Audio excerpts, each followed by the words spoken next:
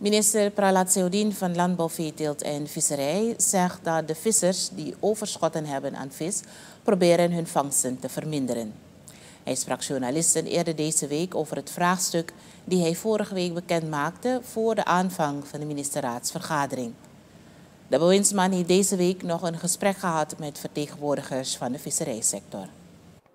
Inderdaad, die, hun vriezen zijn nog vol. Maar uh, zij geven aan dat ze het zien als een, tijdelijk iets dat er op dit moment een overschot is. Hun informatie van hun, vanuit hun afnemers is dat uh, inderdaad ook aan de andere kant hun magazijnen vol zijn. Kijk, en, uh, na de pandemie heeft men geprobeerd bepaalde lessen uit, uit te leren. En een van ze is dat, je, dat ze hun opslag altijd vol moeten hebben. Je weet nooit wanneer er weer een calamiteit zal voordoen. En uh, dat is een, een, het resultaat ervan. Maar ze zijn niet bang, we gaan gewoon door. Uh, ze temperen wel met de vangsten, even. En hopelijk die vissen nog blijven. En niet wegzwemmen. Maar uh, dat is de oplossing.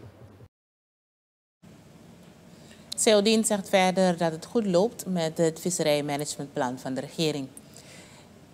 Het plan loopt sinds 2021 en nu wordt gekeken als nieuwe voorstellen zijn om zaken aan te passen of om door te gaan op dezelfde wijze.